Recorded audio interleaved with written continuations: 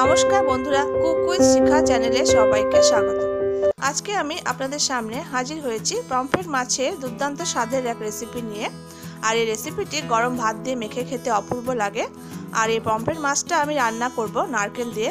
আর নারকেল দিয়ে যে কোনো তরকারি রান্না করলে তো সে তো অপূর্ব লাগে খেতে। তাহলে আসুন রান্নাটা শুরু করে আপনারা দেখতে থাকুন। আশা করছি ভালো লাগবে। প্রথমে আমি চার পিস পমফ্রেট মাছকে ভালো করে ধুয়ে নিয়েছি। তারপরে আমি লবণ আর হলুদ দিয়ে ম্যারিনেট করে রাখব মাছটাকে দশ থেকে পনেরো মিনিটের জন্য।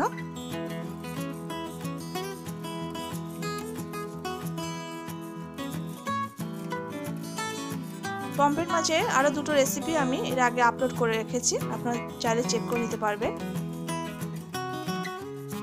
তারপর আমি একটা মিক্সির জারে এক চামচ মতো ভিজিয়ে রাখা সর্ষে দিয়ে দিলাম। আর আমি দু চামচ মতো পোস্ত দিয়ে দেবো। তারপর আমি এখানে ছয় সাতটা নারকেলের কুচি দিয়ে দিলাম। আর আমি তিনটে কাঁচা লঙ্কা দিয়ে এটা ভালো করে পেস্ট করে স্মুথ একটা পেস্ট তৈরি করে রাখব আমি। সামান্য একটু জল দিয়ে দিলাম যাতে পেস্টটা আমার ভালো করে হয়। দেখুন আমার এরকম করতে হবে পেস্টটা। তারপরে আমি একটা কড়াইতে সামান্য সর্ষে তেল গরম করে আমি একে একে মাছগুলোকে দিয়ে হালকা করে ভেজে আমি তুলে নেব। পমফ্রেট মাছকে খুব বেশি কড়া ভাজা করলে ভালো লাগবে না। দেখুন আমার মাছগুলো ভাজা হয়ে গেছে, এরকম হালকা হালকা মতো করে নিতে হবে আমাদের।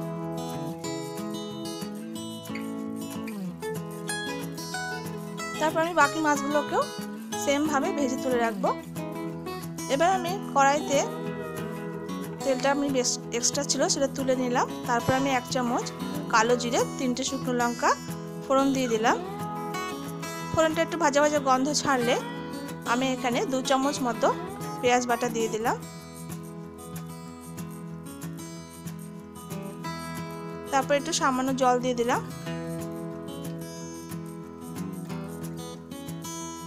দিয়ে একটু আমি নাড়াচাড়া করে একে একে আমি গুঁড়ো মশলাগুলো দিয়ে দেব। এবার আমি টেস্ট হিসাবে লবণটা দিয়ে দিলাম। আর আমি প্রয়োজন মতো হলুদটা দিলাম।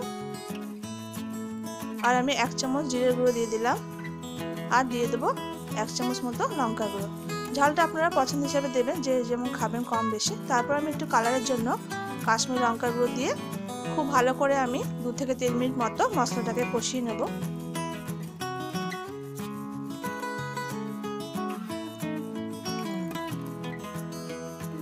মশলাটা আমার কষানো হয়ে গেছে।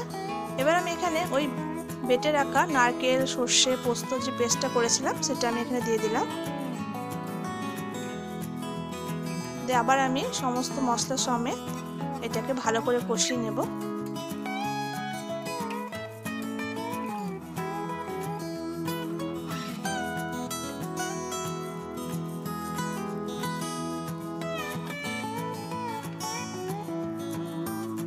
খুব ভালো করে আমাদেরকে কষিয়ে নিতে হবে দু থেকে তিন মিনিট মতো।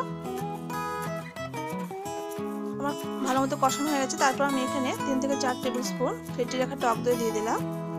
টক দই দিয়ে আবার একটু নাড়াচাড়া করে দেবো আমি।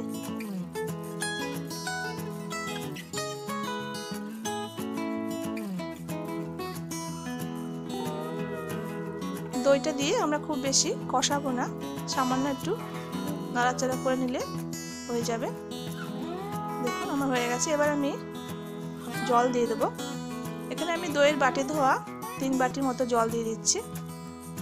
যেহেতু গ্রেভিটা খুব মাখো মাখো হবে, বেশি পাতলা হবে না।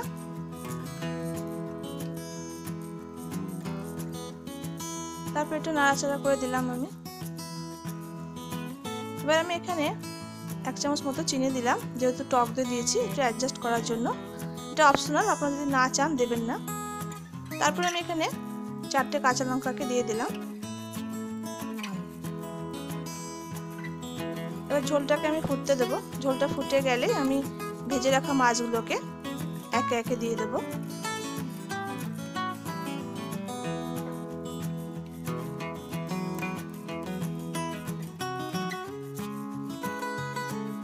মাছগুলো দেওয়া হয়ে গেছে। এবার একটু আমি নাড়াচাড়া করে ঝোলের সাথে মাছগুলোকে ডুবিয়ে দিচ্ছি।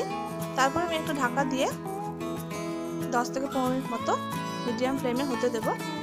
দেখুন, দশ থেকে পনেরো মিনিট পর আমি চেক করে দেখে নিচ্ছি। দেখুন, আমার গ্রেভিটা বেশ মাখো মাখো হয়ে গেছে।